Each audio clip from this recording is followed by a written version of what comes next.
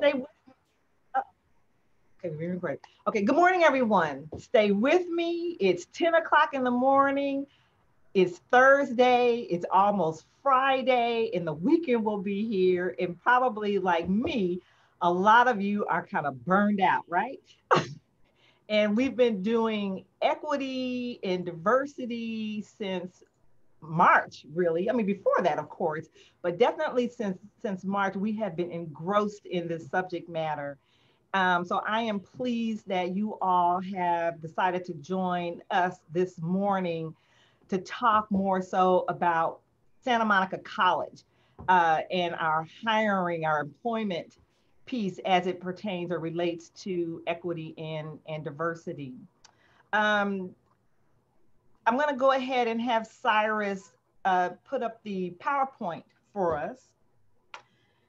Uh, but I do again want to thank you all for being present as, as, being present as part of Human Resources, uh, focusing on diversity and equity series. And, and the presentation today is, is really twofold, okay? And we are going to attempt to introduce you to our diversity report, but through this presentation. And just a little background about this presentation, uh, the district uh, submitted a proposal to this conference, Diversity and Leadership Conference, uh, that was being held in spring of 2020 at Harvard. And we submitted this presentation, this proposal, and it was accepted. And so, you know, that was really exciting for us. Oh, wow, they really want to hear about what's happening at Santa Monica College in Santa Monica, California. And, and we're going to go to Harvard and we're going to pre present this uh, to this group of uh, leaders and educators and what an opportunity for us, you know? Uh, but of course, COVID hit. COVID hit. We were supposed to do this presentation in, I think it was early April, like April 4th. I remember the date. April 4th it was. Uh, but we weren't able to attend. So part of this effort, though, was uh, a collaboration between Dr. Jeffrey, myself, Trayshawn Hall Baker, as well as uh, Lisa Winter, I believe, was involved. Uh, but the the true author of this report is Lori Heyman, who is our admin assistant confidential. And I have to give her her props at this meeting because uh, Trayshawn and I, I think we're at a conference and Lori was here. We had like one or two days to get this done and Lori made it happen. So I have to truly uh, recognize her for uh, this particular presentation. And then on top of that, we also have this diversity report. And again, I have to give Lori Heyman her, her, her props because uh, she plays a, a major role in authoring that report, pulling that data, and getting it together. Um, but as you probably know, and I know this for sure, not too many folks probably read that report. And so it's really important to me as the vice president of HR that folks are aware of that report, that it exists and why we need it, why we do it. Okay. Uh, I mean, really. And I'm seeing in the chat, people like our photos on this slide. So thank you, people. Um, so with that said, this, this presentation was entitled uh, Santa Monica College, a case study, the challenges of changing a community college culture. And so what we're going to try to do is, again, walk you through this presentation as best that we can and familiarize you with the, the diversity report. So today's presentation um, will consist of, and you can go back to the slide, Cyrus, the presenter slide. Uh, myself, Vice President of Human Resources, uh, Dr. Trayshawn Hall Baker, our Dean of Human Resources, as well as Lori Heyman um, as well. Dr. Jeffrey, I, hopefully is in the audience, but she's not gonna be part of this presentation today, but I employ her if she is in the audience to definitely interject when she feels it's necessary because she, again, um, contributed to this report and was going to be with us when we did this presentation at Harvard, okay? So with that said, um, let's move on with the presentation. And so there's gonna be probably a little bit of back and forth as well. Um, we are gonna take a take turns presenting some of this information. You know me, I need this to be engaging. Uh, so if you have questions, like I said, put it in the chat, raise your hand, whatever it is. If you just wanna make a comment, you can certainly do that as well. Uh, but this presentation is really uh, for discussion purposes later. Uh, we talk a lot about student equity. Uh, we haven't spent a lot of time on uh, how we can move the needle with our workforce, specifically and especially our full-time faculty. Uh, I'll just put it out there and, and say it, okay? So next slide, Cyrus. So, proud to be SMC.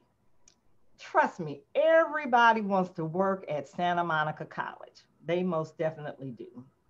Students from all over the world come to Santa Monica College. Everybody wants to be here. Trust me, they, they really do. We're the number one transfer institution, all of those things. Santa Monica truly attracts and, re and retains an outstanding workforce of faculty, staff, management. However, comma, as you often hear me say, we are still challenged with diversifying our workforce and ensuring that the faculty, staff, the management team mirror our student body.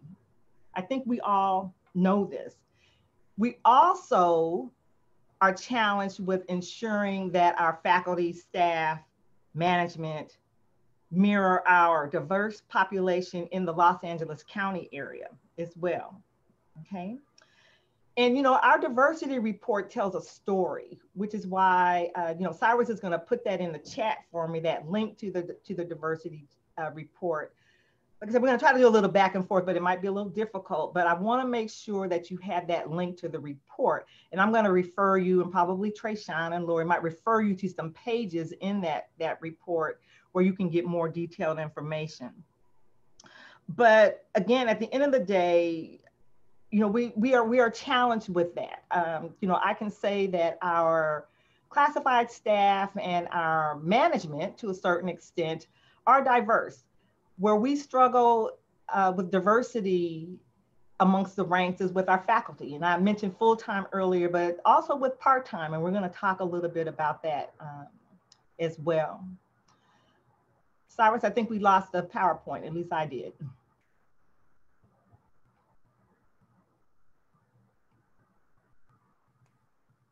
Give me one second, folks. Okay, sorry about that.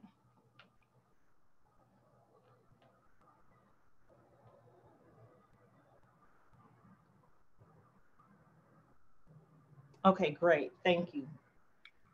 Okay, thank you. So, you know, at, at this point in the game, uh, diversification of our workforce has been, it's been slow. Again, much slower with, uh, with our faculty, but it's been steady to a certain extent. It, it really has been. So you might say right now, we just had a SERP and we lost all these people. That's true. Remember, this report, this diversity report is from 2019. Uh, this report is done every two years. So we are right now getting ready to put that report together as well. Thank you very much, Lori Heyman, because it's a lot of work. It, it truly is. So saying all that to say that this particular presentation is going to focus primarily on the faculty, especially as they have uh, more of a direct impact on the students. As I said earlier, we, we, do, we do okay uh, with the other groups, but we do struggle with our faculty. Um, and I love this quote, uh, no matter what you do, it will never amount to anything more than a single drop in a limitless ocean. Yes, but what is an ocean but a multitude of drops? So we have to keep working at this, uh, no matter what. It's, like I said, diversity at Santa Monica College, increasing diversity at SMC in our workforce has been slow, but it has been steady to, to a certain extent. But we, we need to do more work with our faculty. Go ahead to the next slide.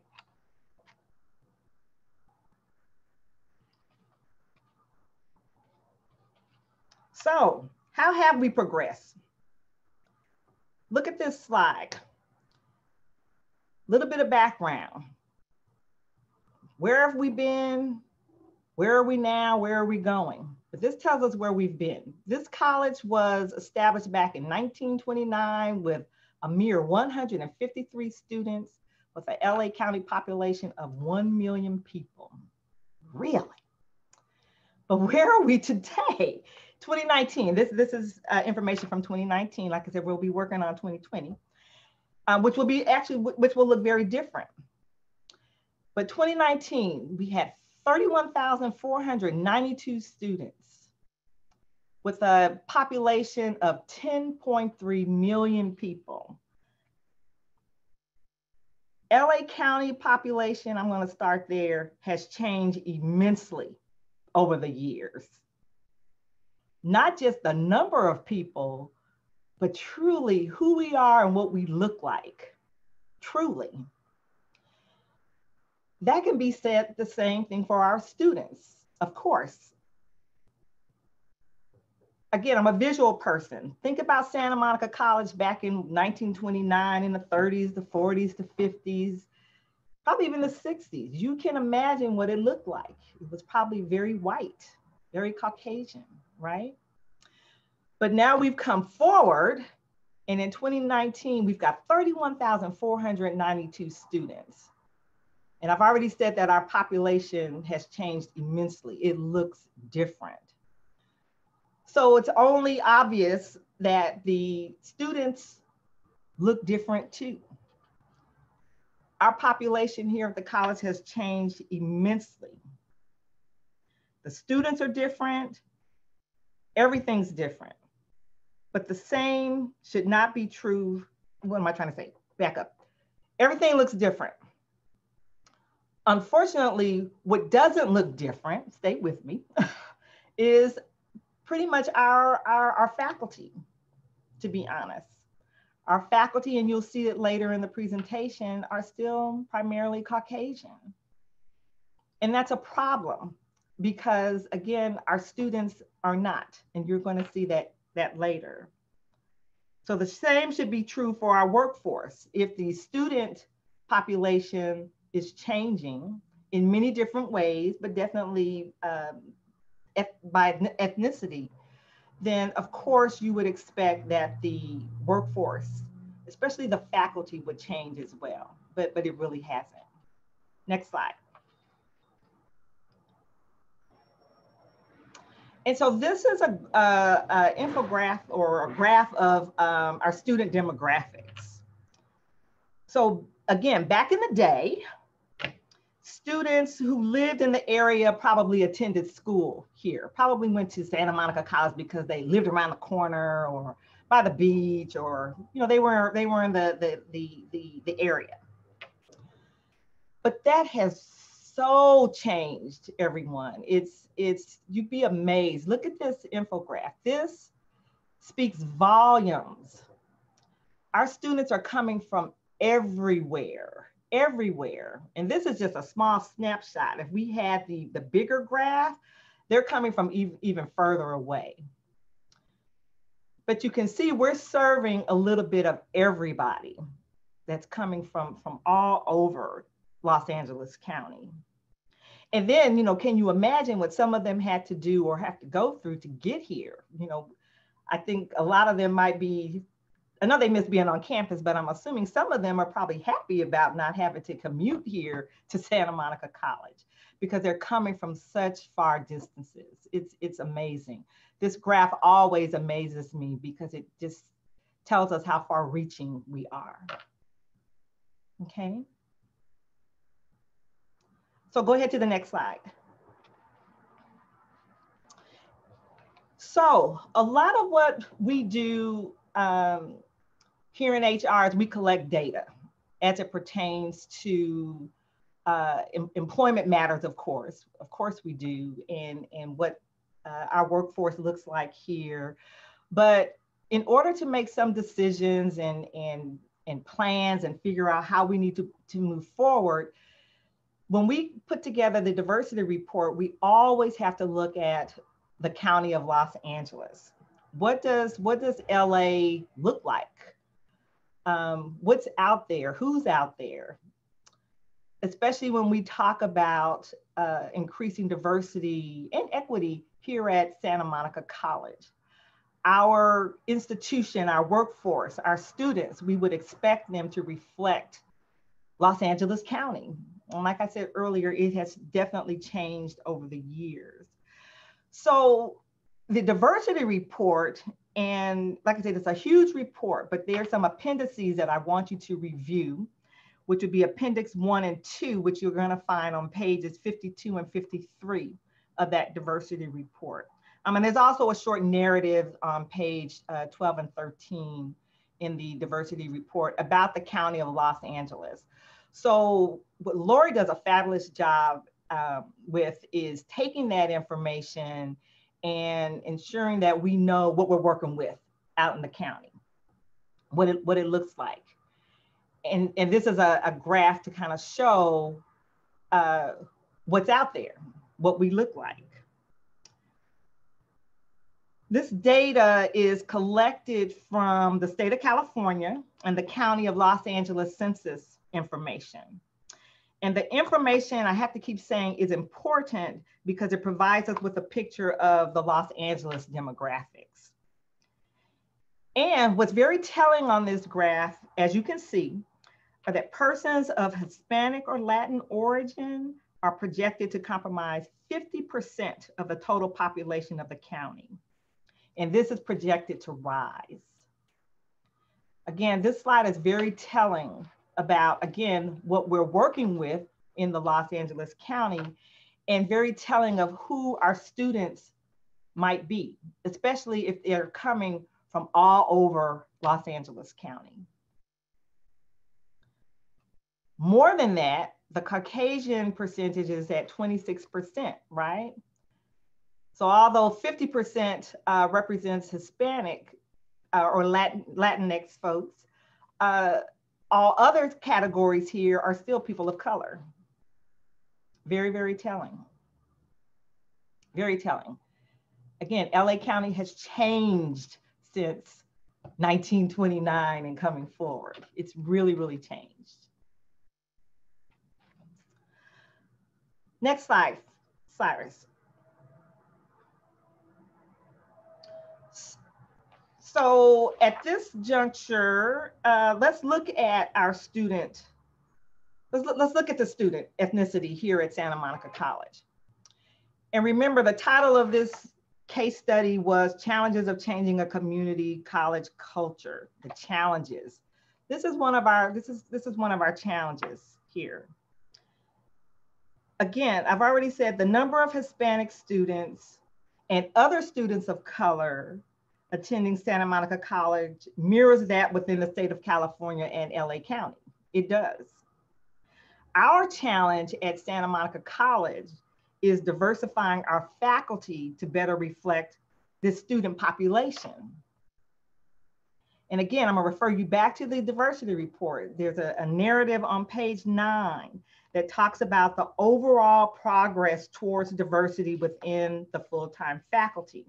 And I do want to point this out because I think it's important. Again, we you keep hearing me say that we've made some strides. We have. We've been pretty steady, but we still have so much work to do. In that narrative, it basically says that minority populations um, remain underrepresented, uh, underrepresented, but over time, diversification efforts have resulted in change. Hispanic self-identifying full-time faculty accounted for 13% in 2009, um, increasing to 17% in 2019. And Asian comprised 9% uh, of full-time faculty in 2009 and 12% in 2019. Uh, not all ethnic groups experienced gains during this period of time. African Americans were 12% of full-time faculty in 2009, 13% in fall 27, but slid to 12% in 2019. And I bring this up because, again, look at our student ethnicity. Our faculty have not changed much. I, have to keep putting that out there because it is truly the challenge that we face and how do we move the needle. Again, we've made some progress, but we have so much more to make in order to truly mirror what our student population looks like, or at least looked like in 2019. Might be a little different now that we're in this COVID area, this remote area, enrollment has declined, of course. Um, a lot of adjuncts have lost their class assignments because we don't have the classes. Uh, so, so again, there are a lot of moving parts. But again, I keep saying we still have work to do. And, but this is truly, I think, our biggest challenge in, in moving the needle to ensure that the workforce, the faculty, reflect the student ethnicity. Next slide, Cyrus.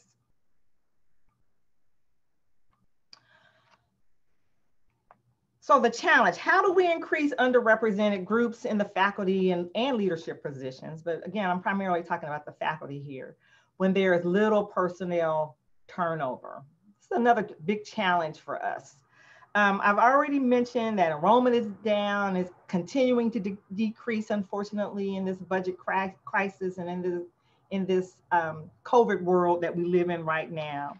Um, you know, adjuncts have lost classes um, but again, the part-time faculty, that's another one of the groups that lacks overall diversity as well. And we'll talk a little bit about that. And there's some great um, charts in the diversity report that clearly show what we look like um, as far as adjunct faculty departmentally. And I encourage people to, to take a look at that. We also have another group uh, that's referred to as, as associate faculty, still part-timers, um, but they have employment rights. That group lacks diversity as well. We've got full-time faculty, right? Great full-time faculty, but the, and we've got classified staff, we've got managers, we've got all of that. But the point I'm trying to make is that nobody leaves. nobody leaves. I'm one of them. Came here in 1990 and I never left, never left. And there's a whole lot of you in this session right now that have done the same thing and probably plan to do the same thing. But what does that do for, for us as a district? And, you, and before I get to that, you know, we just had the SERP, the retirement incentive. And so um, several people took that opportunity and they're gone. But I'm here to tell you, Santa Monica College, uh, the numbers still probably haven't changed much that all that information will be reflected in the next diversity report. But it didn't really move the, the needle. Um, people don't leave. When it comes to the associate faculty, and I'm going to talk about them later, uh, the majority of them are Caucasian, since we're talking about ethnicity and, and increasing diversity. But they're so, and, and a lot of them left. A lot of them took, uh, some of them did take the cert, some of them did. But there are so many uh, associate, so many part-time faculty waiting in the wings because they're eligible for associate faculty and they're just waiting for people to leave so they can get that status as well. But I'm here to tell you that they are primarily Caucasian as well. So if people aren't leaving, how do we get to the point where we can even again, recruitment for Santa Monica College is not a big deal. Everybody wants to come here. Not, a, not a, our, our pools are diverse. They are when it comes to ethnicity. But again, we are challenged because if people don't leave, we don't always have the opportunity to replace them. And then when we do replace them, yes, we have an opportunity to, to replace them with uh, diverse groups of people. But again, the needle still doesn't move because Santa Monica College right now is very heavy with Caucasian staff, um, uh, Caucasian faculty. We are. Again, just being honest. But the diversity report, the data supports everything that I'm saying here. Longevity is huge at Santa Monica College. Like I said, people just do not leave and opportunities to increase diversity in hiring is going to be limited uh, during this budgetary crisis as well. It, it just is. There will continue to be very little personnel turnover. okay? Uh, next slide. So I, so I like this slide. This is one of Lori's slides. It's like, how does she find these things? how do we get there? And the cartoon says, after further re review, I'm going to move the goalposts once again, right? So Santa Monica Colleges, you know, our, our situation here is fluid, it's dynamic, it's ever changing. But I like to think that you agree with me that the end goal is to build a workforce to ensure student success. And part of doing that, like I said, we talk about student equity um, all day, every day. We do, and we're making great strides there. We truly are. But when we have those opportunities to bring in new people, different people, diverse groups of people, how are we going to get there? Again, another challenge for this district, trying to figure that out. Next slide, Cyrus. Go back one, yeah. So it's obvious that we need to get on a path you know how do we how do we overcome so many challenges what's our plan what path do we take to diversify our workforce one thing is sure you know based on this slide here we we do need to to to come to some kind of understanding you know what do we need to understand to create a plan to to create this path or get on this path what do we need to know um, the big biggest thing for me is what do we need to do differently? Santa Monica College does a lot of things well. We most certainly do.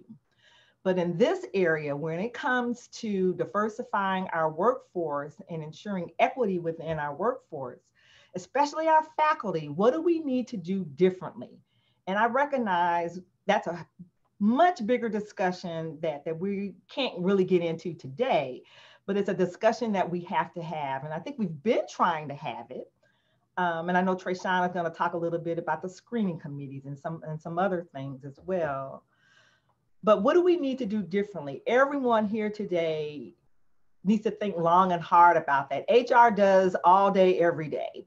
What can we do differently um, to ensure that when we've done the best we can do with the recruitment of faculty, and our pools are diverse, how do we how do we help the committees make decisions to get these people in the queue to get to that final interview with Dr. Jeffrey and her committee to make that decision to hire something that we don't have sometimes, right?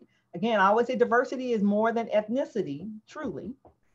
But at the end of the day, at this institution, if we're trying to mirror our student body, we need to do some things differently within our hiring practices as well.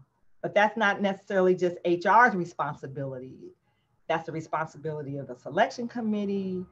Um, any decisions that are made when it comes to, to, to determining who we're going to offer a position to at this college. And then how do we hold ourselves in the institution accountable? Again, that's that's that's a challenge. Um, one might say we need to do more training and so forth and so on, blah, blah, blah, blah, blah. We do, we do, we do. But we also need to ensure that our policies are updated. Um, like I said, training is important. It most certainly is, but maybe we need to do tra training differently. Um, we all need to hold ourselves accountable when we're serving on these hiring committees and we're doing our the, the very best that we can to ensure that we're being fair and consistent in our practices, but also ensuring that we are uh, doing what's in the best interest of not just the institutions, but the, the departments and the students as well. And if we know that our student population is reflected in some form or fashion, um, we also need to make sure that our workforce reflects the same. Next slide, Cyrus. So again, the challenge of changing demographics, and I've already talked a little bit about this. So this, uh, these graphs show our full-time faculty in 2019. Again, the SERP has changed that a little bit, it has. And then our student ethnicity in 2019 as well. And again, I'm gonna refer you to page 56 for short narrative, but also appendix three, which uh, provides the ethnicity by employee groups from 2006 to 2019. A lot of data there. And again, I want you to review those pages because it shows you our progression or lack thereof as well. Look at our full-time faculty. Look at our student ethnicity in these graphs. The student demographics at the college have truly shifted and changed over the years. I've already talked about that. But unfortunately, the faculty demographics do not reflect this shift. Look at it. 56% of our full-time faculty were Caucasian, 17% uh, Hispanic, 30, uh, 12% African American, and Asian 12%. And so you might ask, why is this the case? Why isn't the move the, the needle moving? And I'm going to turn it over to Trayshawn, Dr. Trayshawn Hall Baker, to kind of talk about possibly why this is the case, why the, the needle is not moving. Hello.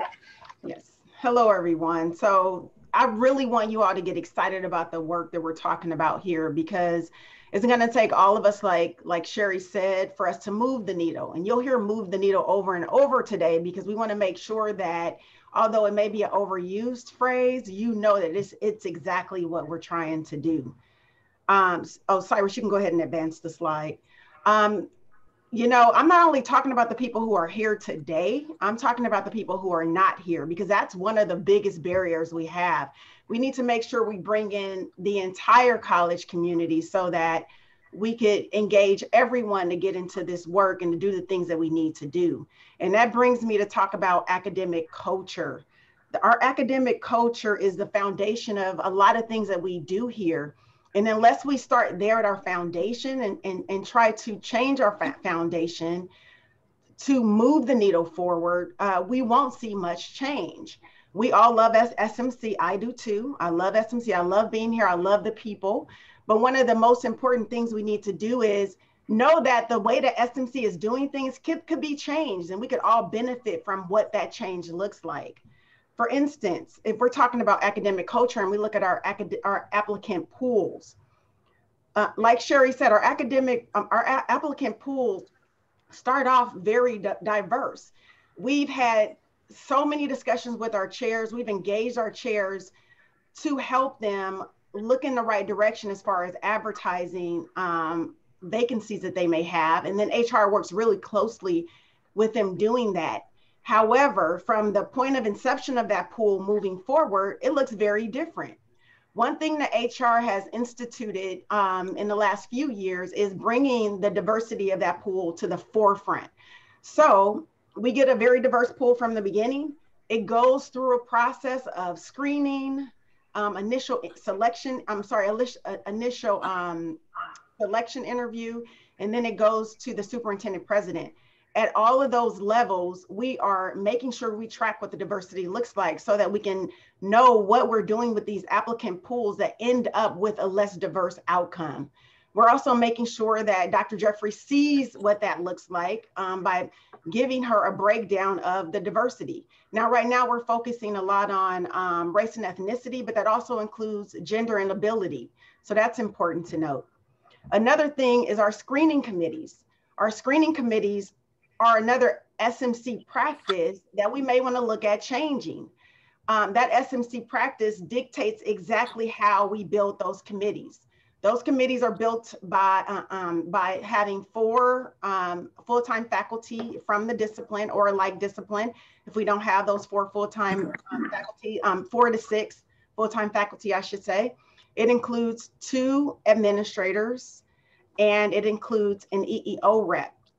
So perhaps we should consider including a student. Perhaps we should include having to put someone on there that is different from the rest of the group. Because if we're looking at historically at how SMC's faculty, both um, part-time and full-time look based on the graphs Sherry um, shared with you, you'll see that we are very white. And, and, and, and that's okay because before us, it's, it's okay only in this sense, because before now, the processes that were in place did not dictate us to, to have change but now we're trying to make change. So that's one thing that could be a barrier that we may want to we want may want to look at. Our full-time and part-time pools again. When we look at the student population, and I'm going to drop something in the chat right now, um, which will give you more about our student population. On our website, if you don't believe what we're telling you, go to our website. You can even go to the state chancellor's website and you could see exactly what our student population looks like um, based on the student head count. I engage you all who are here for, and I'm gonna call this a call to action now, another trendy phrase. All, all of you who are here that wanna see change, it's important that you know what we're dealing with and what we need to change, okay? As I tell the selection um, committees, uh, the screening committees, is it's, it's not that we're not, it's not that we wanna reject the white male, okay? It's not that we want to do that, but we also don't want to reject, let's say, the Asian or Latin, um, you know, female. We want to make sure that we are all inclusive when we look at our applicant pools and that we are not trying to find someone that looks like us. So if I'm Trayshawn Hall Baker, Dr. Trayshawn Hall Baker, I'm not looking for Dr. Trayshawn Hall Baker part two. I'm not looking for that person with um, a PhD or a black girl with you know, curly braids in her hair. I'm looking for that person that can best serve our students. And if we put that first along with minimum quals, we will see different outcomes. Okay. Going on to the next slide. Again, when we're talking about academic culture, faculty input and participatory governance is really important, okay? If the faculty that are on this call today and even the classified and administrators, if when we go into our participatory governance environments, we look at gearing what our pools look like on what our student population looks like, we can make change. We can change policies, we can change procedures, but we have to do that collectively. Let me tell you about something we're doing on the state level. A lot of the different constituency groups on the state level um, in a process that was facilitated by the state chancellor's office, the constituency groups are coming together because we all want to see change. And that change is going to come from the top down. So if you're part of the academic senate, the state academic senate is working with the state human resources groups to come together with best practices that will help us all see the change that we need.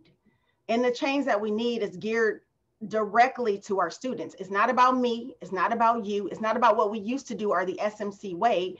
It's about seeing change that will best support our students. So I encourage you that when this all plays out, you you be active. You be active, not passive, and getting out there to see what change you could make. We are also looking at um, the Board of Trustees policies we want to make sure that whatever we're finding in our listservs and in our professional groups, we're bringing back to those policies so that we can inform the board of what needs to happen, what needs to change. We're looking at putting together a list of trainings, not only for all of our uh, constituency groups on campus, but also for our board, because we know that this change is high level change that also needs to be grassroots at the same time. Another barrier in academic culture is longevity. Like Sherry said, people stay here a very long time. And it's hard to change minds when we have a process that appeared to work because we have some really good faculty here that have appeared to work, except for it missed the diversity mark. So we want to we want to figure out how to change minds of people who have been here and who have put in a lot of work. And I don't want to discount any of that work, to see what is needed now because the demographics have changed again not only at santa monica college but also in the county and because those the, the demographics have changed so dramatically we need to make a dramatic change here. So we can no longer sit back and watch everyone else make the change. We need to make the change ourselves, one person at a time, one step at a time, one policy and procedure at a time. And then we need to pull in our colleagues to get buy in from them. Another thing is preferred quals. So let me remind everyone here you only need minimum quals to be hired uh, here at Santa Monica College. You need minimum quals. However, a lot of people confuse minimum quals with preferred quals.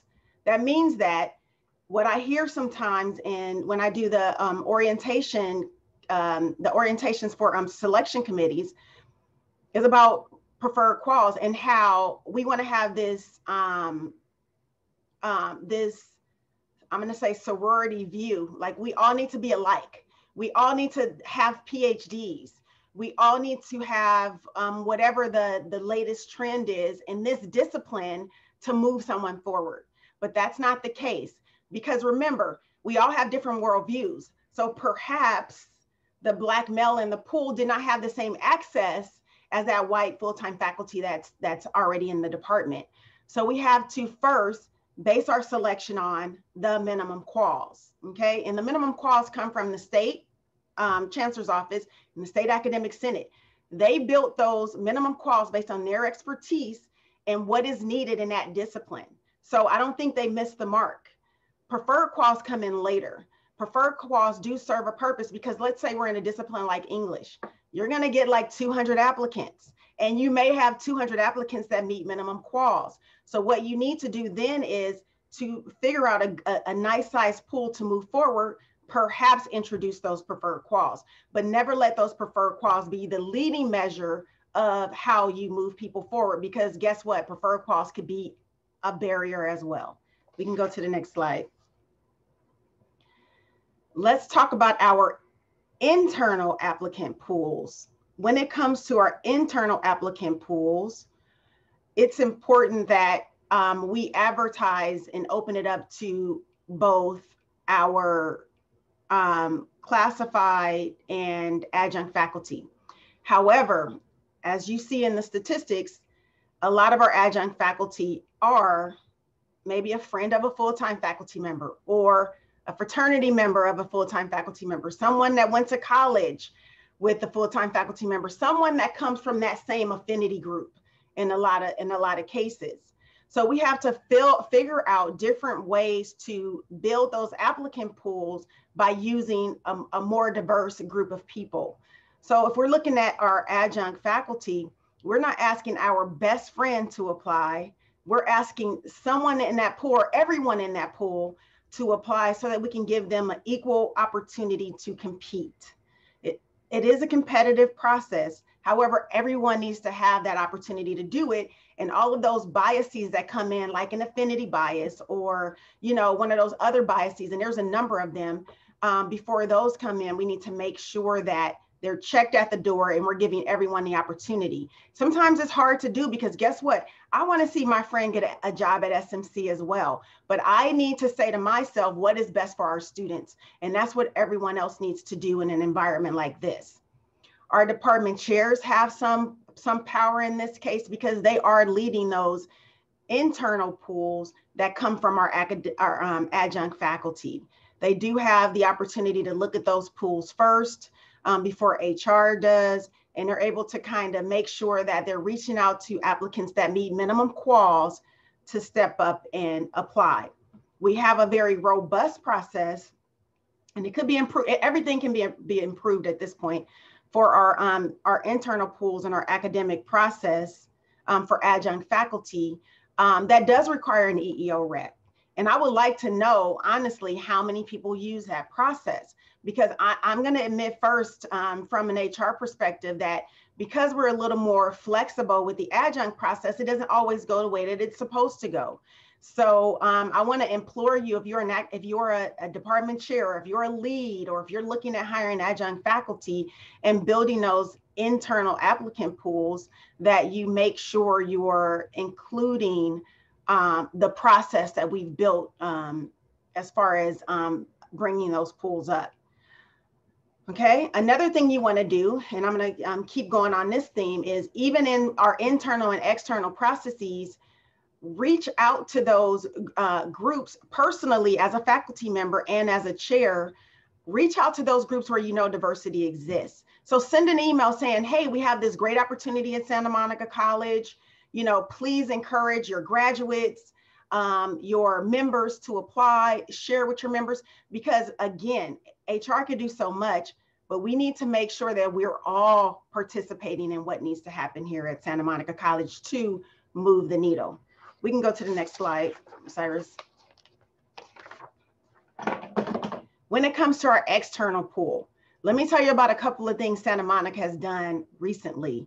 One, we built a list of great um, diversified um, advertisement sources we want to make sure that if we do get a list of advertisement sources from our departments, if we don't see that um, diversity geared um, source on the list, that we're adding it. We're looking at those advertising sources, we're checking them to make sure that it's going to the right audience, and then we'll add on to that um, to that source if we don't see one geared towards um, diversity. But I have to say, you know, I've been um, doing this work um, since 2018, you know, after Sherry promoted, and our chairs have done a great job at making sure they adjust um, how they they um, gear their advertisement. So I do appreciate them stepping up to the plate um, to make make the change. Um, when it comes to the the job fair, we have started a job fair. I think um, the we did it twice. This would have been year three, but then COVID happened a part of that job fair is intentionally putting SMC on the map for those hard to reach groups. Uh, we want to make sure that they know we're open to having you here at SMC.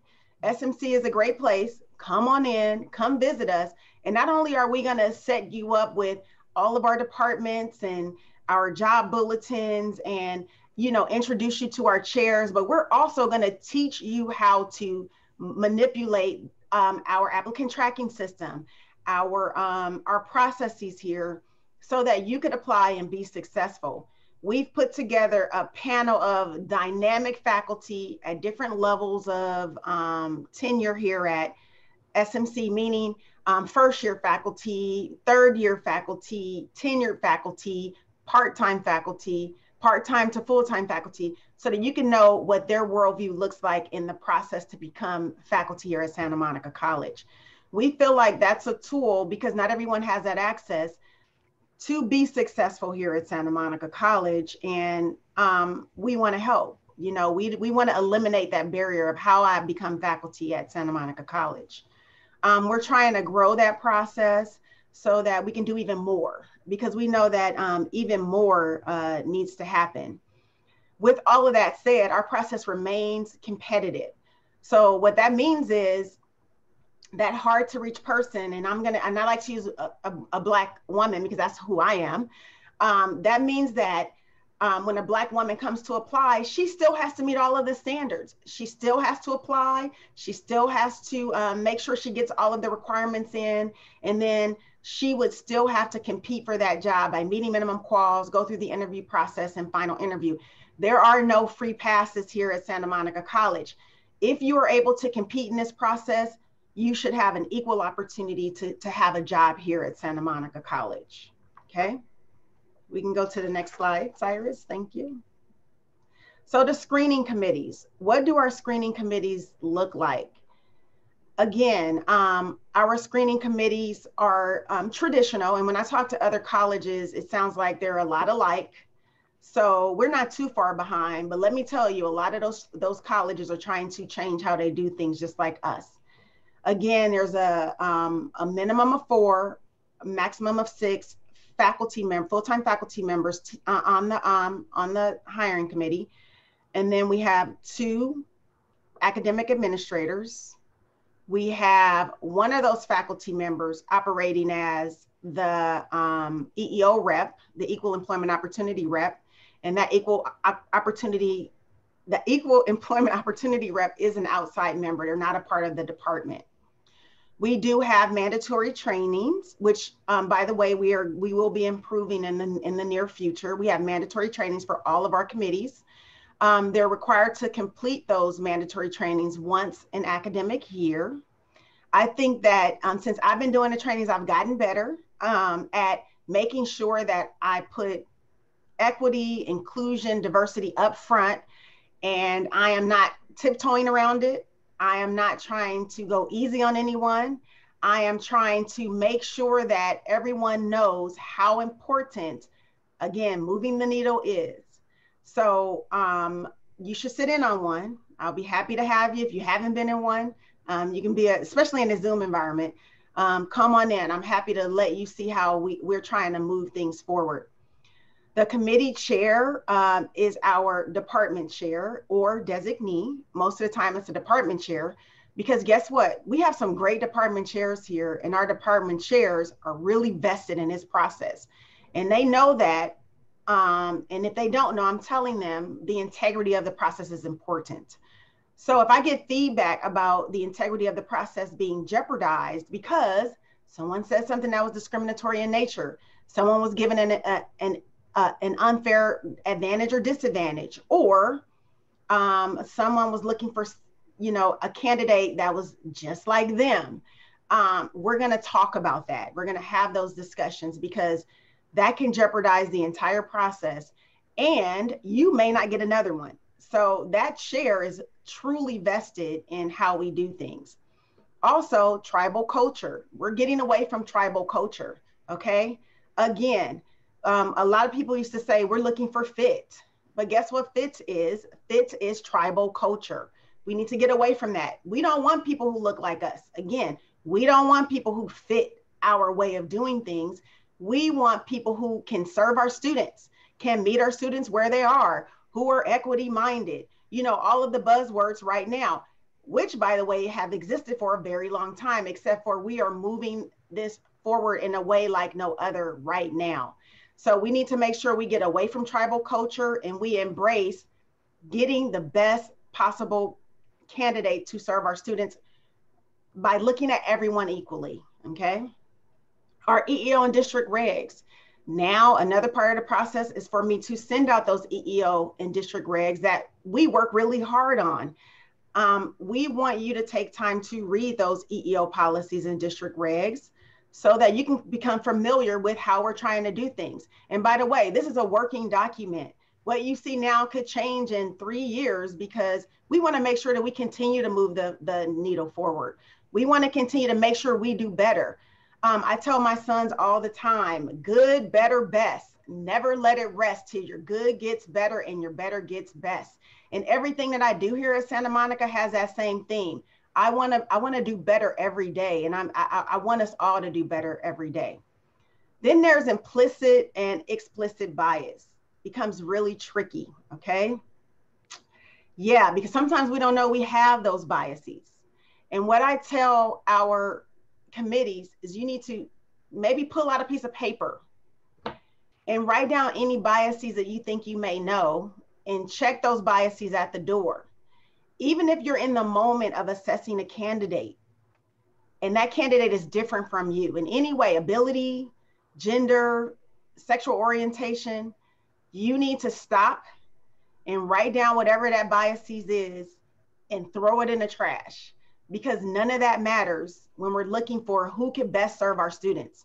So if you see someone that checks all of the boxes they're great but their sexual orientation is different from what you believe in you need to tell yourself, okay, how can I resolve? How can I mitigate whatever um, biases? How can I bracket these biases and set them aside um, to mitigate whatever I'm feeling inside? Because a bias belongs to you. It only belongs to you. It doesn't belong to the process. It doesn't belong to the person. So we need to make sure that we are clear in how we assess our candidates as they come in. Okay. Next slide. So our part-time, our full-time and part-time faculty, and Sherry touched on some of this. Again, if you if you open up our um, diversity report, you'll see on pages 25 and 27 um, what our demographics look like when it comes to um, um, ethnicity and race and ethnicity. I, I, I want you all as a homework assignment to go and really have a look at that and then look at your department and see what your department looks like. Look at what our student population looks like by using the link that I gave you. Pay close attention to our associate faculty. That's important because remember, a lot of times at a lot of colleges, our associate faculty are feeders into our full-time faculty. A lot of times we, we take our associate faculty and promote them, which is a very good thing. However, sometimes doing that, we miss the mark as far as diversity is concerned. So I want to make sure that you have a look at that um, and that you you take some time to really understand what it means when we have um, a, a, student population with uh, a high number of, let's say, let's use Latinx for instance. Our Latinx, according to our website today, is at 37% as far as race and ethnicity. And then you take a look at um, Latinx in our, our um, full-time faculty, which is 17%, and uh, in our, our part-time faculty, which is 14%.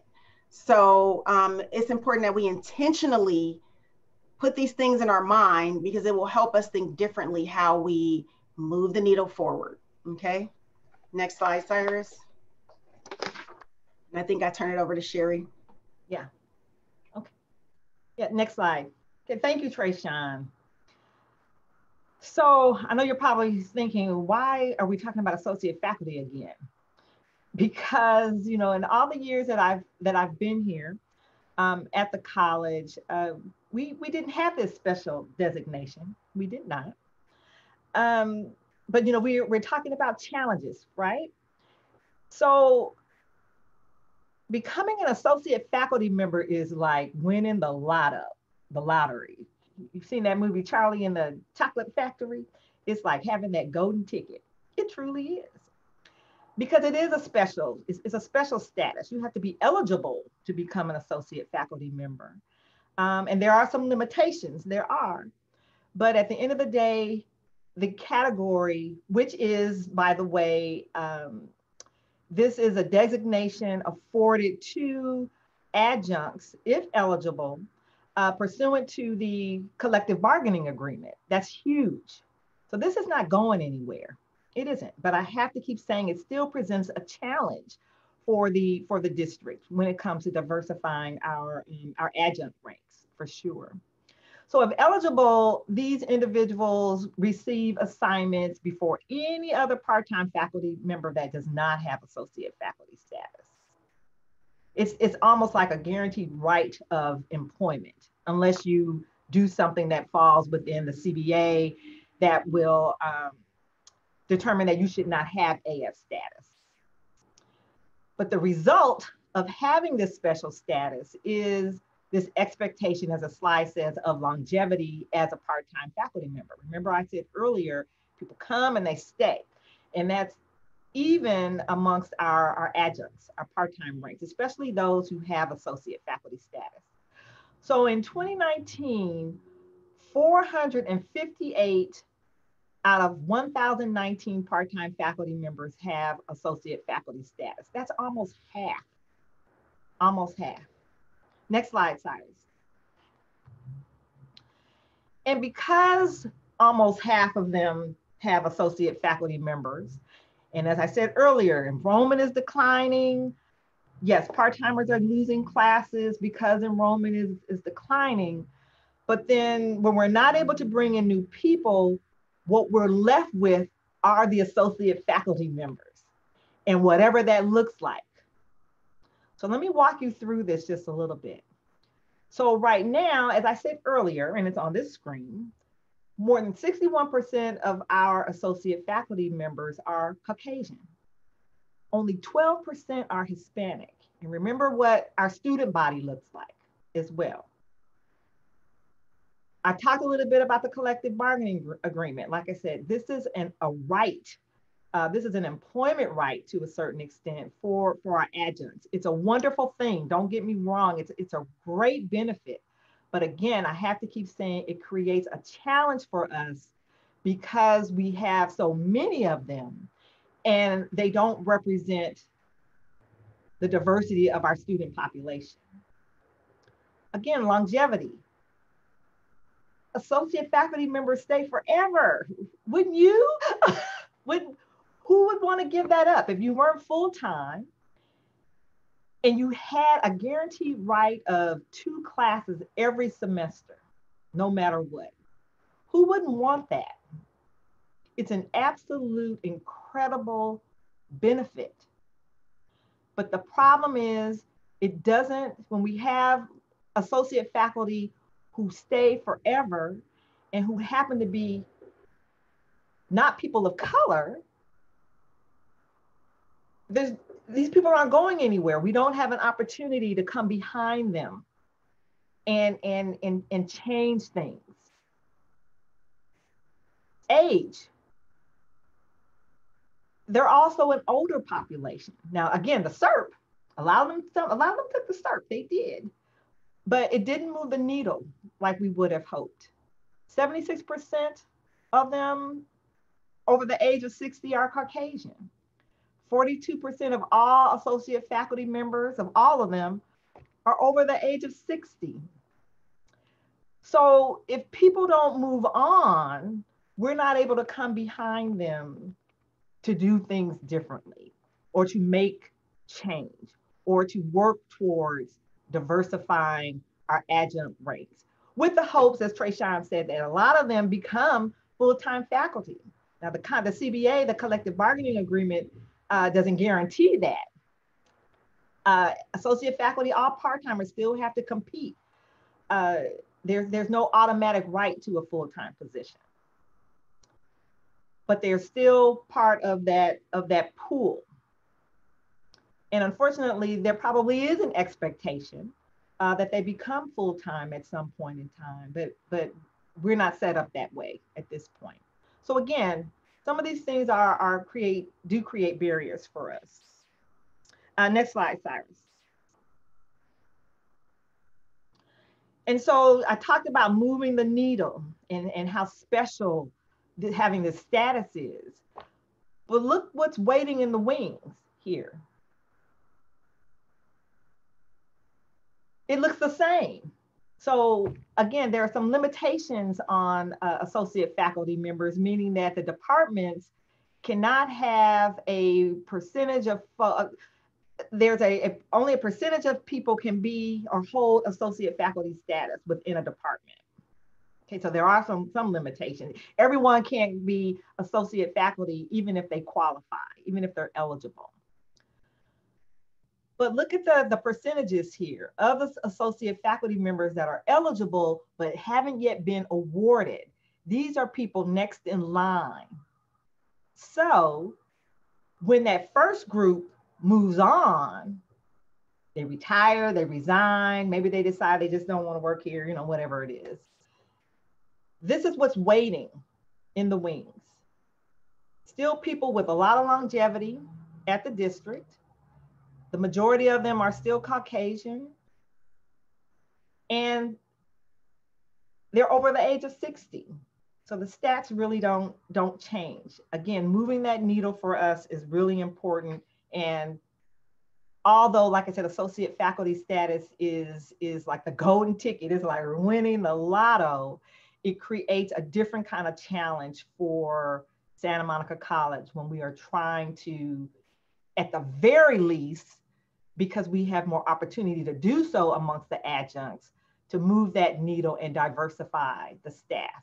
Again, some departments are doing well, but if you look at the diversity report, again, I encourage you to look at the diversity report, the, the, the appendices that uh, do an overview of the department, what, what the department looks like.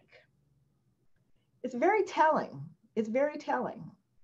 And it will be difficult to make changes in those areas to move that needle if, in fact,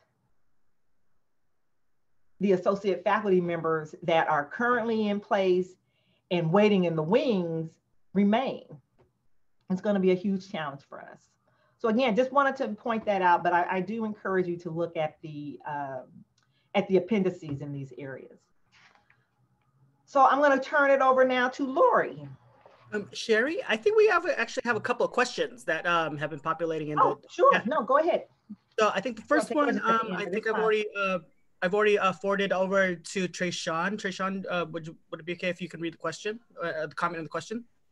Okay, let me see if I can go ahead and find that question again. would it would it be better All if right.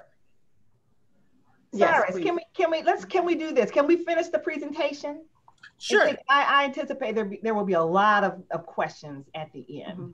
gotcha. Okay. So let's do that. Let's move through because it's 11 11. okay, sounds good. Okay, thank you. So hold hold on to your questions, people. So Lori, please, uh, can we, Cyrus, can you go to the next slide? Good morning, everybody. Um, thank you, Sherry and Trayshawn. Uh,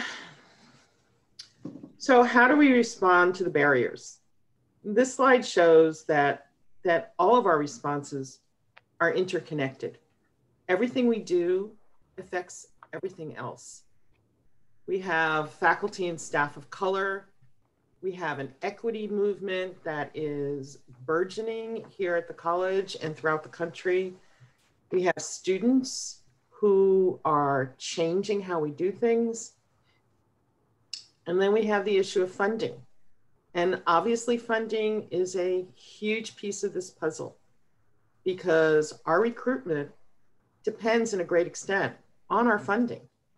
And in the last four years, we've had a very robust funding allotment from the district to advertise. As you've heard, we've expanded our advertising to different uh, groups and institutions and publications. Um, and that has had an effect. Maybe not a huge effect, but it has effect. And the needle is moving a little bit. But we have entered an era, an era now where our funding sources are limited, more limited, and we don't know how much more limited we're going to find them. Um, next slide, please. Thank you. So this slide, you, you know, just remember that this was, this presentation was developed in March, prior, just prior to COVID. And obviously, we've done a lot of work in the last seven months under equity. But what we really want to point out here is that in order to continue to move that needle forward towards diversity, we really need to continue to take a multidimensional effect. And that equity must be foundational to all institutional initiatives. This is critical every decision that we make when it comes to recruitment and hiring um, must be using the, the lens of equity. And we need to incorporate diversity and equity in all aspects of recruitment and retention. Next, next slide, please. So what are we looking at? We have our mission statement. These are things that SMC is already doing. We have our mission statement, we have the institutional learning outcomes, and we have some collaboration with cross college committees. But we can improve that.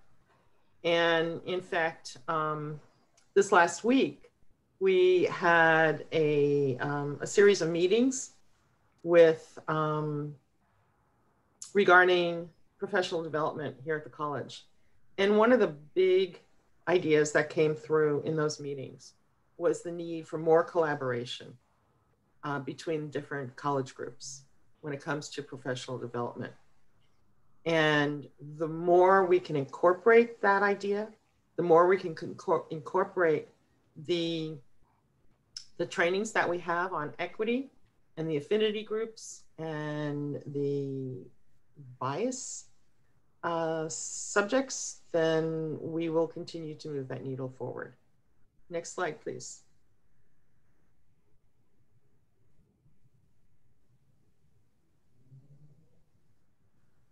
Cyrus, can we have the next slide?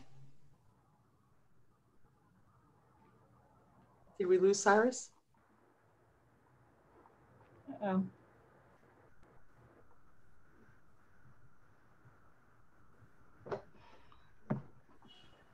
Cyrus? Can you hear me? Oh, I wonder what happened. Did he What happened to Cyrus? Maybe Yeah. his, maybe we have a freeze. Um, so what I'll do is I'll, I'll go ahead and take over. Yeah, it looks like Cyrus dropped. Okay. Um, thank you, thank you all for your patience with technology. Um, it happens, right? So I'm gonna go ahead and um, pull up the PowerPoint and share my screen, and that way we won't miss a beat, hopefully.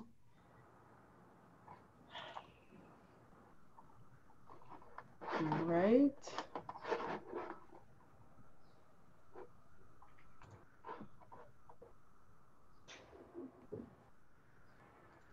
Um, from the beginning. Hold on, I'm getting there. Um,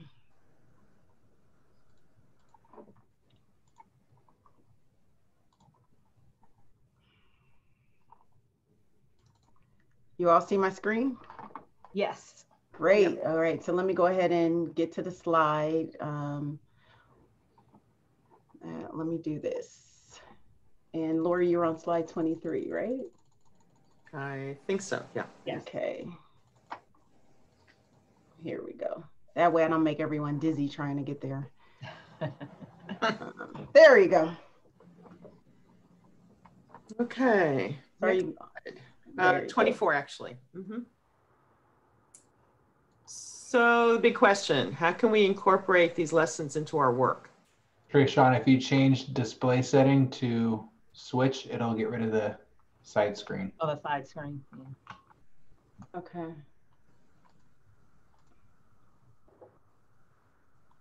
Is that it? Yeah, That click it? that one. This one? There we go. Okay. go ahead. Wonderful. Mhm.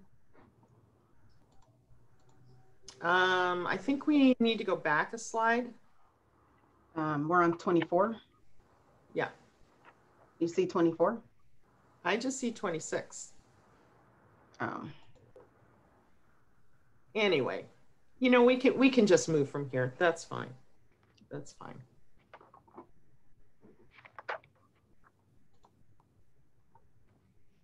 So, okay. Mhm. So we're talking about here the expansion of the applicant.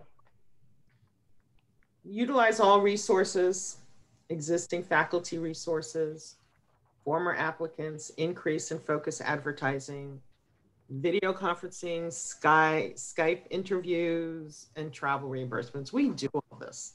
We do all this.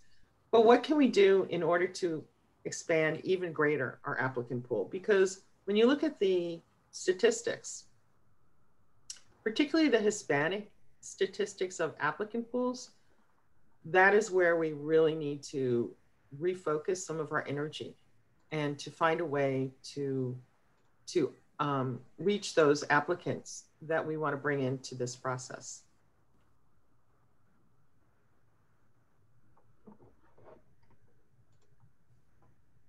Okay, so you know me. Let's regroup for a minute. Let's do that. Yeah, and Cyrus unfortunately had some internet issues, so he apologizes. So this is where this is where we left off, Lori. This is your your slide here. Okay. Oh, thank you. Okay. Yes. Okay, so oh, so you can wrap Okay. this one up. Okay, then we'll go forward.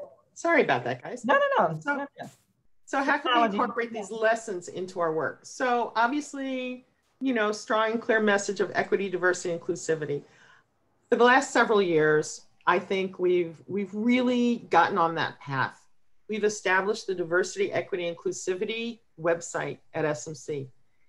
If you want to find out what we're doing towards diversity, um, equity, inclusivity, you go to that website. We have policies, we have our resources. It's a one stop shop for all of that information. Um, and it's added to as things come online. Also, our equity summit and trainings. We are currently in the middle, HR is currently in the middle of um, presenting a series of trainings on diversity and equity. We've had um, a presenter, Kimberly Papillon. A lot of you have already seen her. She's been here several times. Um, and she's got one more presentation. Um, I think it's November 12th. Uh, but we also have some really fabulous presenters. We have Greg Smith coming, who is now at San Diego. Um, and he will be presenting information on understanding data. And of course, data is really super important to what we're doing here, as the diversity report shows you, and what and as we've been talking about during this entire presentation. Next. Next slide, please. All right. So thank you, Lori. Um, can you guys all hear me? Yes. Oh, okay, thank you. Because I now I can't see my screen. But anyway, um, thank you all. And, and, and you know what? I'm also going to say shout out to my SMC folks who, you know, give us passes when technology does not work exactly how you need it to work. So I appreciate you all being patient with us as we go through this.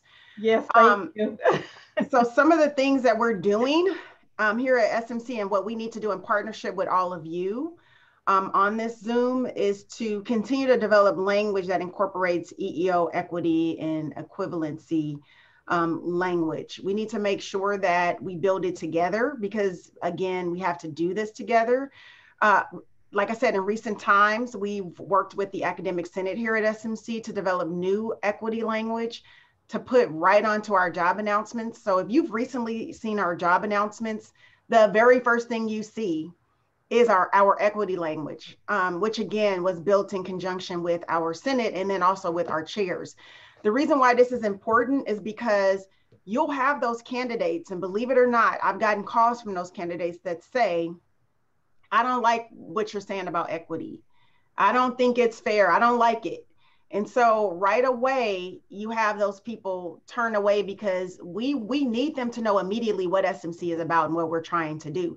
But then again, you have more candidates than you will believe who are excited about the language that they see in our um, in our job bulletins because we are really trying to make a difference here and be a leader at this at Santa Monica College. I've gotten calls from other districts that appreciate the approach that we're taking by putting equity first up front by making diversity something that's up front um, and that's first in the things that we do and, and, and it's becoming more and more of the fa- the fabric here at Santa Monica. Another thing you should know, and this is this is um, break breaking news, kind of sort of, but um, Title V will be changing soon to also put equity, diversity, and racism at the front of um, what is out there. It's in the process now to change. And so that language from directly from Title V uh, will go directly into our job announcement as well, we hope, because we want to make sure that, you know, the theme of the state is, is the theme of SMC, because again, the reflection of LA County, of the state of California, and is exact and our student population are the same. They're they're virtually the same. So again, what you see in the demographics in each of those groups, you'll see they almost mirror each other. So outreach um, and expansion of the, the applicant pools. Um, what, what, again, what we need you to do, and, and, and by the way, I don't want to, I don't want classified to feel like they're being left out. Um, somehow, some way, classified is closer to where we need to be, our classified rank. So, you know, kudos to our personnel commission and to um, people who are coming in that are of you know diverse background to make us look really good when it comes to our our classified ranks. Um, but what we need to do um, is we need to utilize our resources. Again, um, our chairs and our faculty, if you know affinity groups that you could reach out to, again, we need you to send personal emails to those groups, you know, with, let's say, Maria Munoz at the bottom or Howard Stahl at the bottom that says, come and apply for this job that we are, um, that we are posting so that we can get those groups applying and becoming a part of um, our SMC family. Um, reach out to former applicants. If you know that there was this great candidate that just did not make it to the final interview or did not make it to um, the final selection or recommendation to the board, feel free to call them up to tell them apply. Make sure you do it before the process actually starts because um, then there is no conflict of interest. Just let them know, you know, this job is coming. Go ahead and apply and then step away and let HR handle the rest. We're going to inc- increase how we focus our advertising. Um, like I said, we built that list We're going to continue to use that list as we send out um, those advertising advertisements and um, we pull in those diverse pools or we continue to pull in those diverse pools. And then we make everyone accountable as it goes through the process. So at the screening, why does it look like um, this as opposed to what it looked like when you first got the pool? And then when it goes to the selection interview, why does it look like this as opposed to what the pool looked like initially? And then when it gets to Dr. Jeffery in the final interview, you know, we're able to hold each each person at each part of the process accountable to why the final group looked the way the way that it did. So, you know, COVID has been devastating for all of us. Well, not not all of us. I can't I can't make that claim because I've actually been doing okay. Um, I'm blessed. However, our process has been blessed by COVID as well because video conferencing used to be a major, major barrier, major barrier um, when it comes to our hiring process because most committees opted to not do video conferencing. And what did that mean? It meant that if you had diverse candidates that were across the country that were would be perfect for Santa Monica College, they wouldn't be able to participate if they did not have the funds to make it to um, to California for an interview. And the committees get to opt whether or not they want to do video, video, video conferencing. And um, a lot of them said no. A lot of them opted to not have video conferencing, which in some cases eliminated an entire group of candidates from the pool. And we've had many people advocate for it and many people, you know, call me on the side to say, I'm really trying to get this committee to, to do video conferencing so we can see these candidates. And it, it, it all ended up in a failure. But now all we have is video conferencing. So I'm hoping that a lot of people who are participating in the process embrace um, the video conferencing. We do have travel reimbursement. It's not 100%. However, it does exist. Um, that is one area where, you know, we, we, we are at least trying to accommodate our candidates. We can do better. We can do better. Uh, maybe after all of this is over, all, of the pandemic is over. Um, however, if we do institute video conferencing, we may not see many travel reimbursements. So, I mean, um, it is a tool. And um, again, in all of these aspects, we can do better. Okay. Training. We want to continue to train.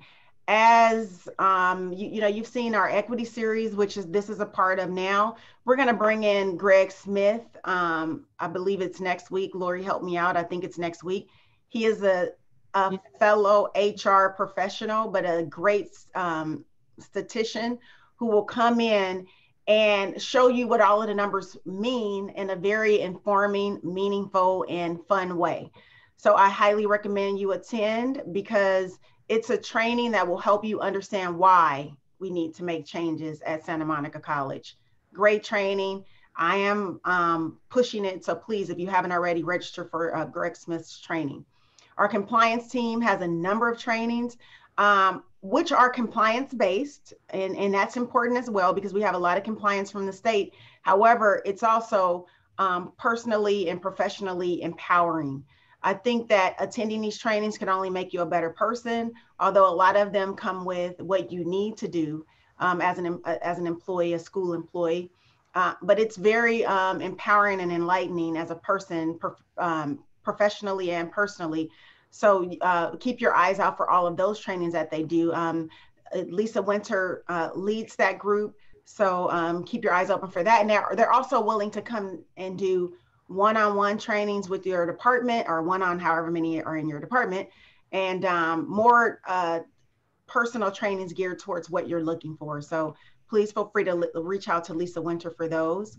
Um, we have a, a, commitment to doing this because we brought in Cyrus Fernandez, who maybe he's back on now, but he's put together many suites, many suites for all employee groups um, for us to continue training in our institution. And then he's found um, options outside of our institution to keep us informed and help us grow in this area of diversity, inclusion, and equity our EEO trainings, um, we're building on it. Again, our EEO trainings will always be a draft, in my opinion, because we always, again, want to do better. And so you'll see us get better and better with each training that we do as far as EEO is concerned, equal employment opportunity.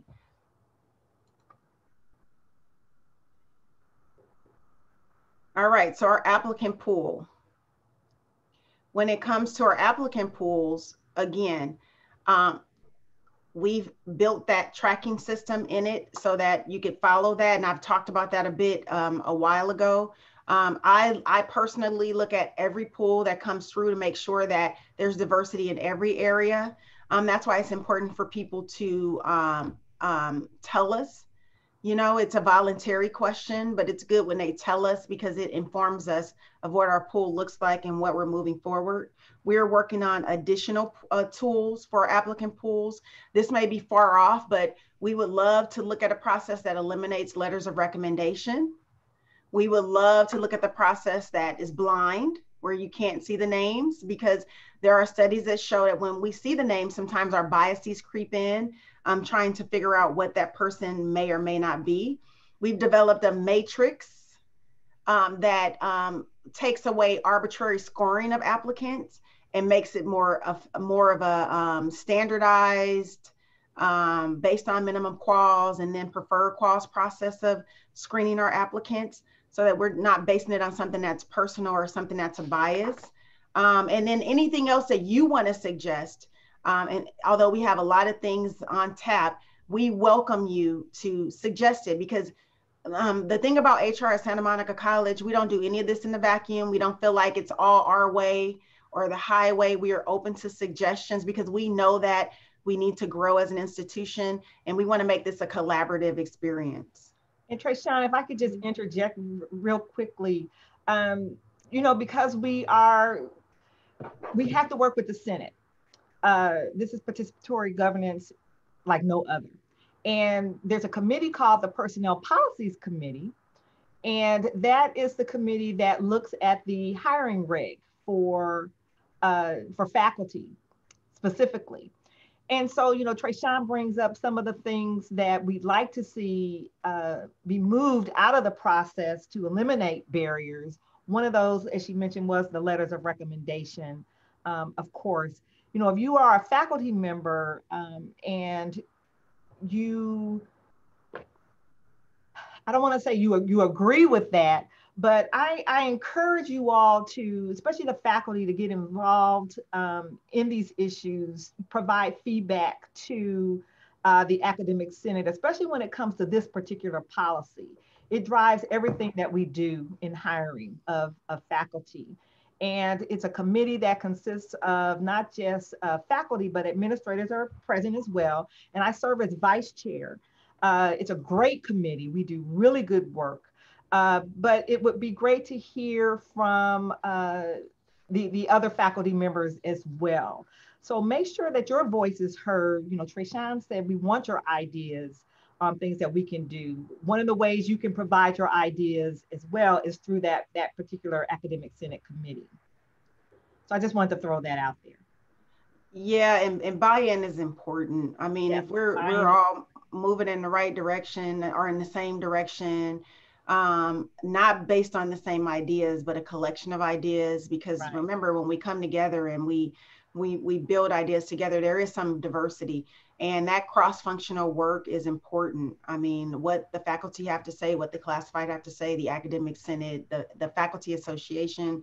It's important because when we we do it together, we come up with the right answer and and, and something that everyone can live with. So this is a plea for everyone to to, to get involved and and do what you can.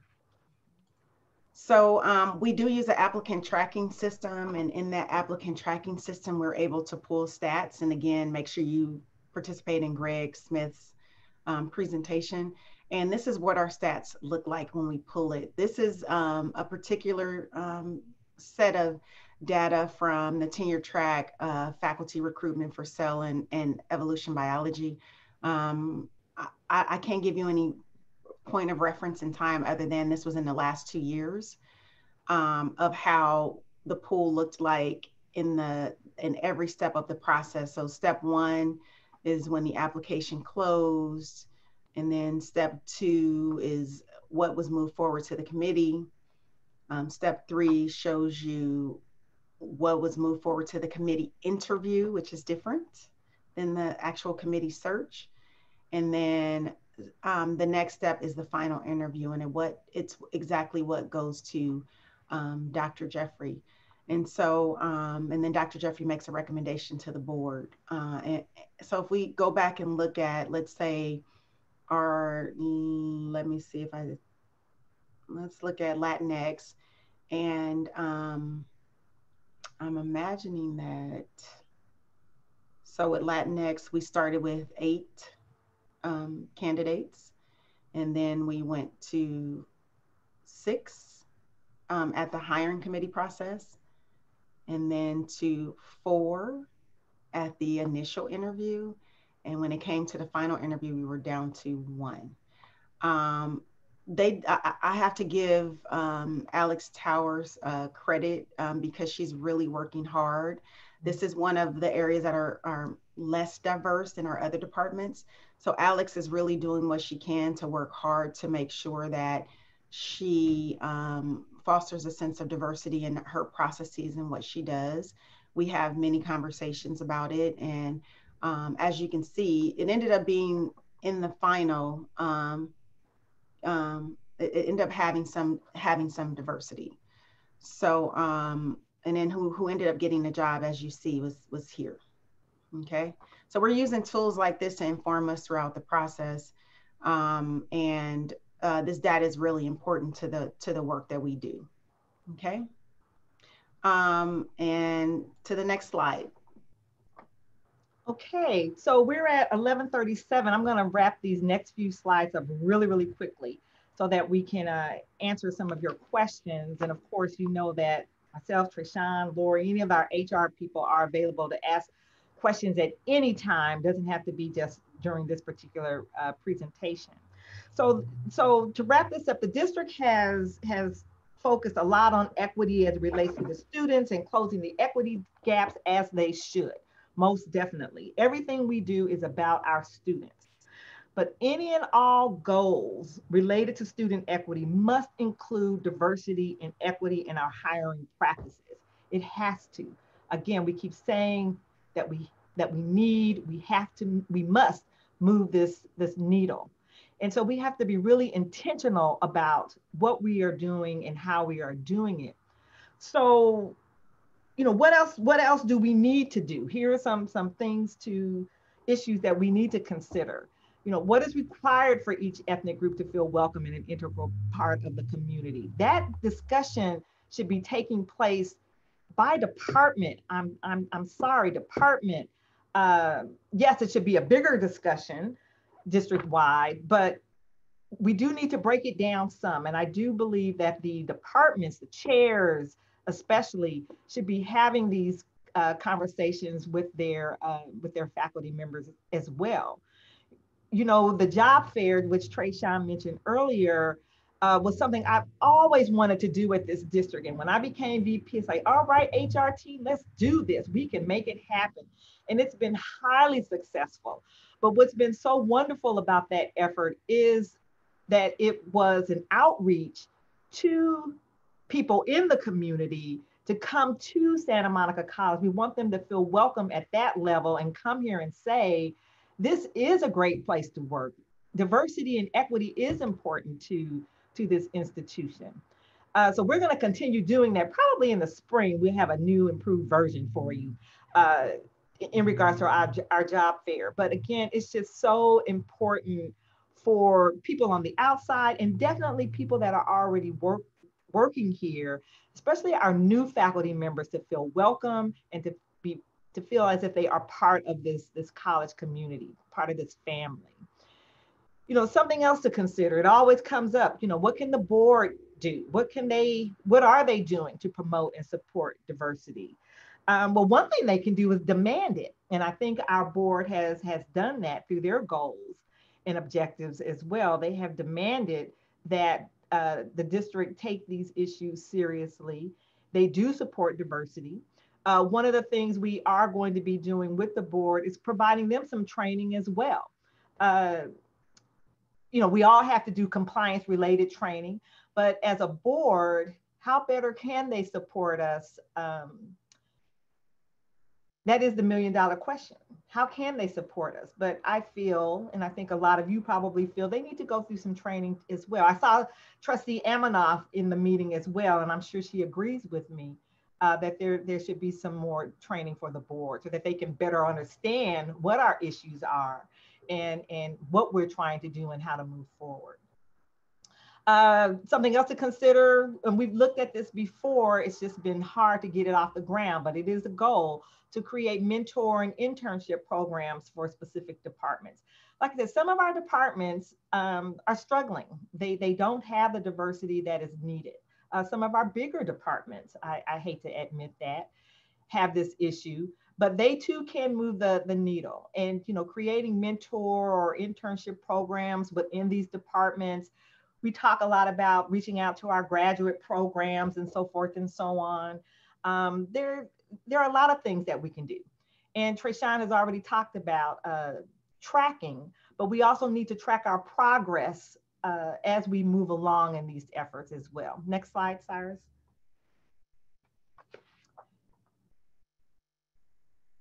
Oh, I'm sorry. Next, who's doing it? Trayshawn, I'm sorry. Next slide. I said Cyrus automatically. I'm sorry.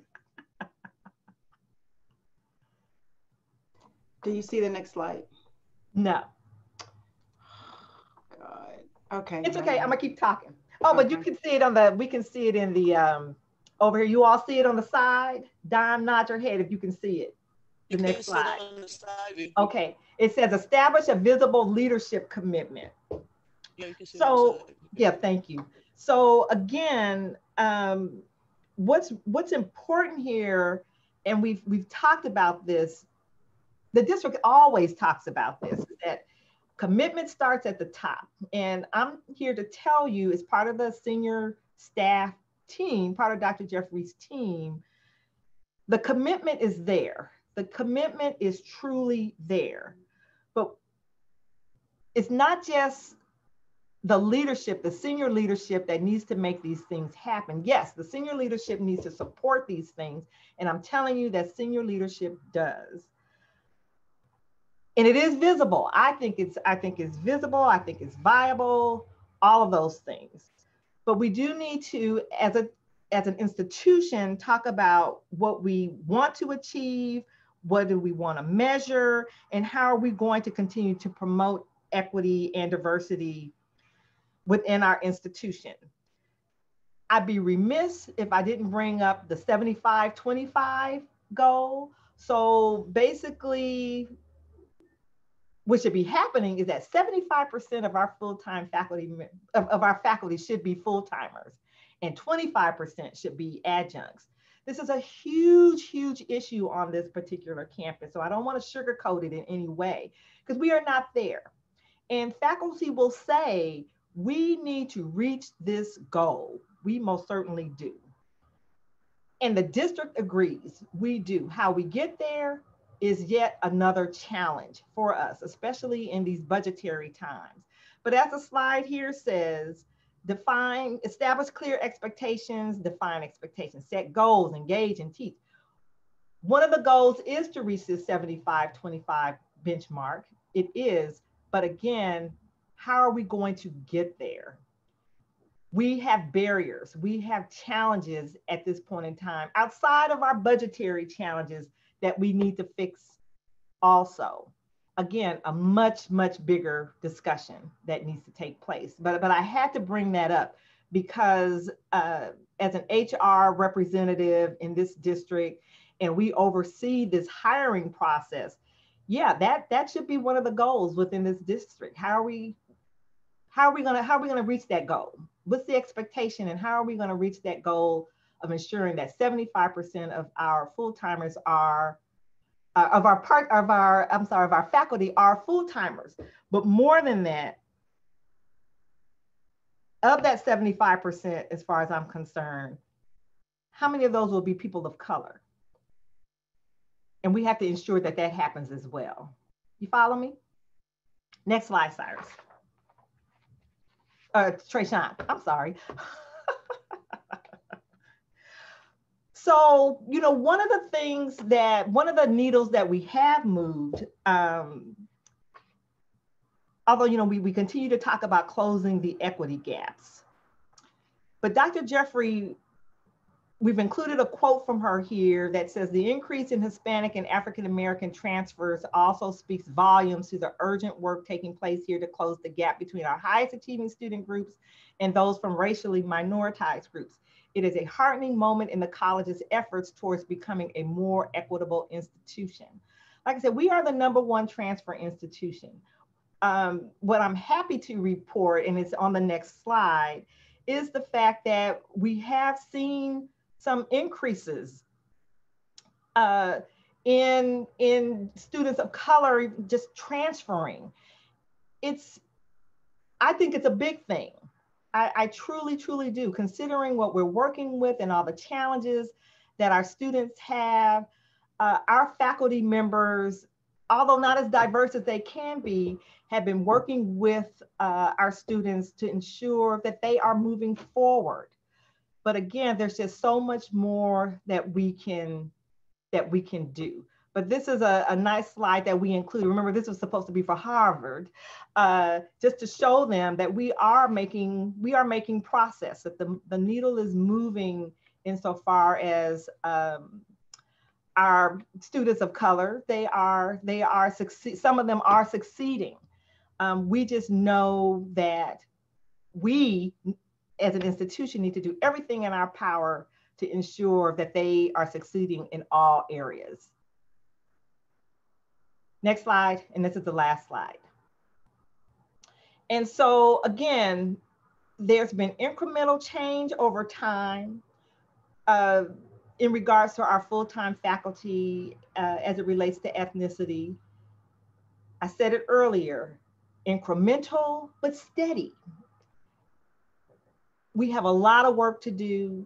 Uh, again, our workforce for the most part is diverse, but our biggest challenge right now is our, our faculty. I think we can do it. As Trayshawn mentioned earlier, we need everyone involved, not just senior leadership, not just the board, but faculty, management, staff, even our students, we need their input as well. I wanna know, what do you need?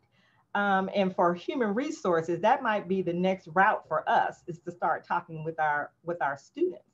Um, I think we can we can move this needle. It's still going to be slow, but I, but I think we can move it. But we've got to work together to do so. So as the slide says, the future, we can do it. So that's our presentation. And I'm sorry I zipped through that last part because I want to leave time for, for questions at this point. And so this is a, uh, this last slide here shows our cover of our faculty and staff diversity report. Um, again, it was included in the chat. You know where to find it. I encourage you, strongly encourage everyone, not just folks here on this call, but uh, just district wide, you read the numbers our diversity report tells a story. It tells a story. And I think if you read this story, you would be more inclined to do whatever it is you can do to help us move, move our district forward and to truly, truly uh, represent what is needed here to, to help our, our students succeed and, and move on. So let's take some questions.